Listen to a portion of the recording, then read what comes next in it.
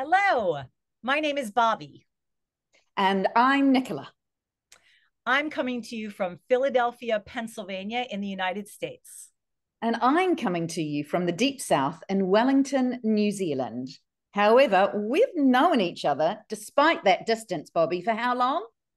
Over a dozen years. Yeah, we're pretty intimate. We're very it's intimate. an intimate relationship.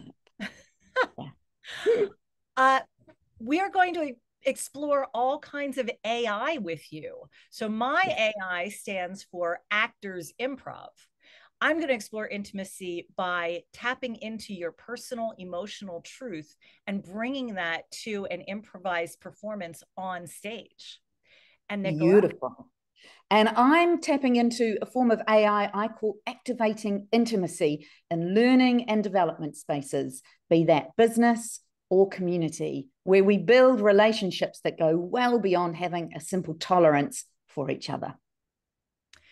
Between us, we have a ton of experience. Um, years, years, and years, years and years. Years. So many. However, uh, but with you, we only have 60, 60 short minutes. minutes. It's insane. So from the moment you walk in the door, we are going to be doing, aren't we, Bobbi? Yes, constantly moving, doing, and activating. Yeah. Beautiful. So, so come join us.